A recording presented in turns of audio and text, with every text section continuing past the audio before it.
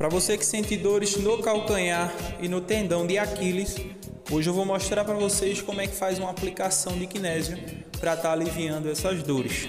Principalmente quem faz corrida e sente essas dores aí pode estar tá utilizando esse tipo de bandagem. Primeira coisa que eu faço é tirar a medida das bandagens, corto as bandagens e arredondo as pontas só para evitar que ela solte e fique esteticamente mais bonito. Minha primeira bandagem, eu colo ela embaixo do meu calcanhar e estico a bandagem em direção ao meu tendão de Aquiles. Tá? Estica bem pouquinho aí com a tensão de 20 a 30%.